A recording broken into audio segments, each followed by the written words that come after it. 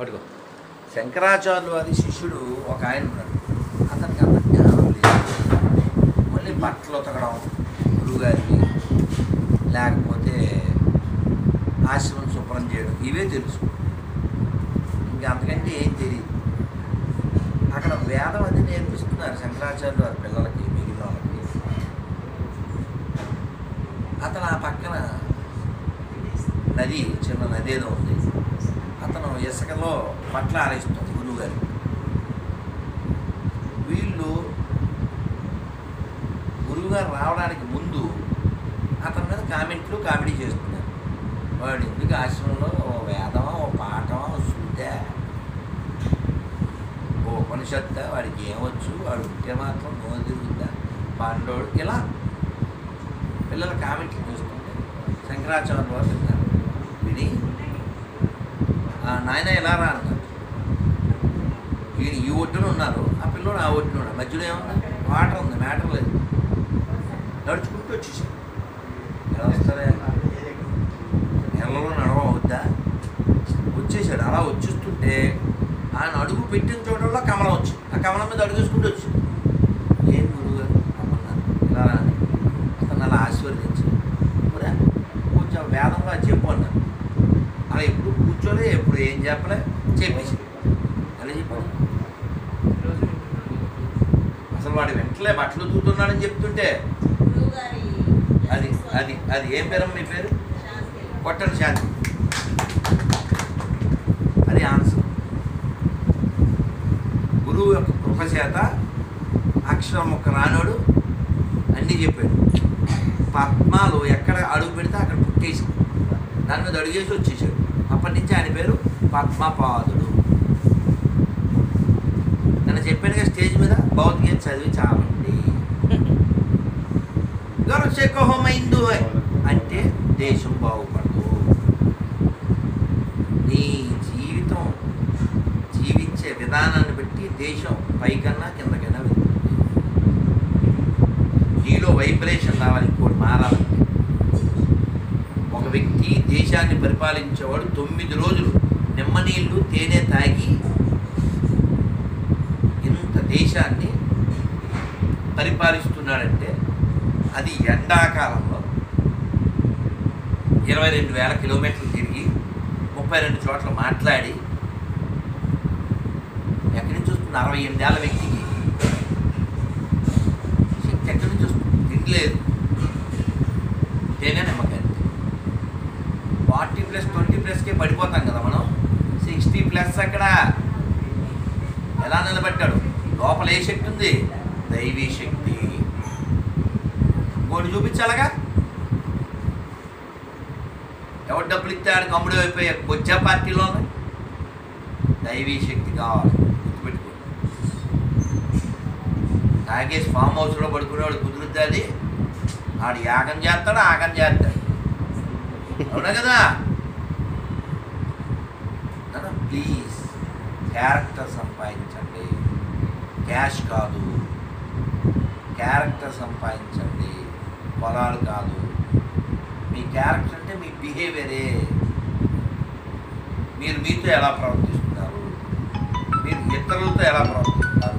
ఇతర జీవులతో ఎలా ప్రవర్తిస్తున్నారు? ధర్మం పట్ల మీ బుద్ధి ఎలా ఉంది? మీ ఆచరణ ఎలా ఉంది? ఇదే క్యారెక్టర్ చొక్కా లోపల తోయడం క్యారెక్టర్ సంబంధం లేదు. రమణ మహర్షి అని చొక్కాలు ప్యాంట్లు వేసుకోలే. గౌరవిస్తారా గౌరవించరా? ఎందుకని? ఓన్లీ గోచి పెట్టుకున్నాడు వాడు పై దానికి ఏం ఉపకారం లేదు. నీ యొక్క చైతన్యమే ప్రపంచాన్ని నీకు గొప్పవాడిగానో చెడ్డవాడిగానో. ఆ చైతన్యం సంపాదించడం ఆ చైతన్యం రావడం కోసం భజగోవిందం చదవండి భౌతికం చదవండి భాగవతం చదవండి భారతం చదవండి రామాయణం చదవండి. టైం దొరికినప్పుడల్లా టైం చేసుకుని చదవండి. ఆ లోపలికి వెళ్ళడం ఎంతో ఉంది. ఎంతో ఉంది. ఈ ప్రపంచానికి అవసరమైందంతా భారతంలో భౌతికతలో రామాయణంలో మనం ఇదేం చెప్పట్లే ఇదేం తెలుసుకోవట్లే. ప్రతి ఎదవా వచ్చి ఓ దరిద్రాన్ని అంటగడుతున్నారు గొప్ప దగ్గర మనకు అవసరమే లేదు. అవసరం లేని రొట్టమతం రెట్ట మతం ఎడారి మతం నాకు అక్కర్లేదు. మీరు గమనించండి హిందువులే మతం మారేక రాక్షసులైపోతున్నారు.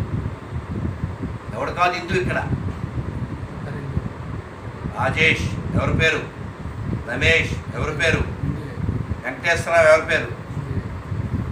సాంబశివ ఎవరి పేరు? రాంబాబు ఎవరి పేరు? వీళ్ళందరికీ ఇంటి పేర్లు ఉంటాయి రాముడి పేర్లు కృష్ణుడి పేర్లు ఉంటాయి కానీ జంపు. ఆ పుస్తకం చదవగానే కప్పు. వాడు విషం కప్పుతున్నాడు నీకు జ్ఞానం లేకుండా అన్నా హాయ్ హాయ్ అంటున్నావు వాటిలో విషం నింపింది ఏం పుస్తకం? ఆ పుస్తకం భూమి మీద ఉండకుండా చేయాలి. అట్లీస్ట్ ఈ భారత భూమి మీద ఉండకుండా చేయాలి. దానికోసం ఏం చేయాలి మనం? ఆన్లైన్ తిట్టక్కర్లే.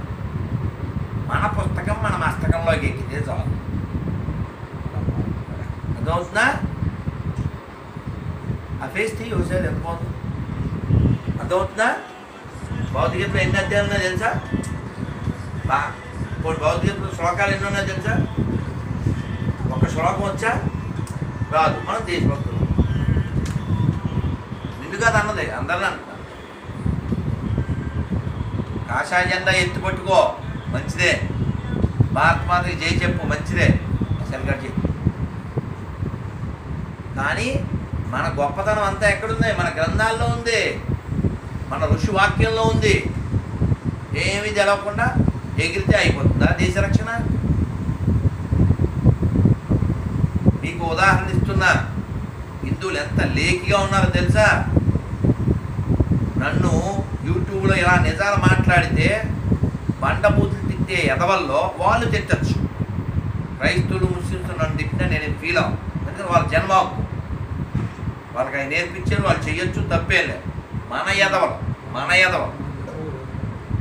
మన ఎదవలు సెక్యులర్ కుక్కలు నన్ను తిడుతుంటాయి ఎందుకని? నువ్వు అన్నీ సమానంగా చూడాలి అంటాడు. ఇప్పుడు అన్ని సమానం నేను చూస్తున్నా. సర్వయోని శుకౌంతయ్య మొత్త సంభవంత్య. తాసాం బ్రహ్మ మహద్యోని అహం బీజ ప్రదపద క్రైస్తుడు నా బంధువే ముస్లిం నా బంధువే ప్రతి జీవి నా బంధువే. ఎందుకని అందరూ భగవంతుడి అంశాలు? అది నేను చెప్తున్నా. కానీ అలా కాదు మా ఓన్ని నమ్మితేనే మీకు. స్వర్గం లేకపోతే నరకం మీరు సర్వనాశనం అని చెప్పేదాన్ని నేను ఖండిస్తున్నా. ఈ చెట్టులో కుక్క ఏమంటాడు? అన్నీ ఒకటే కదా అంటుంటాడు. అన్నీ ఒకటే అని ఎ- ఒకటే అంటాడు. అన్నీ ఒకటే అటువైపు అంటలేదుగా అబు సలీంకి ఉన్న వాల్యూ అబ్దుల్ కలాంకి ఇవ్వవుగా నువ్వు. యాకూబ్ మెమర్కి ఇచ్చిన వాల్యూ బిస్మిల్లా ఖాన్కి ఇవ్వవు కదా నువ్వు. ఒక తీవ్రవాది చచ్చిపోతే వాడి గురించి ర్యాలీలు చేసే కొజ్జాలు ఉన్న దేశం ఇది. బాగా గుర్తుపెట్టుకోండి. పాకిస్తాను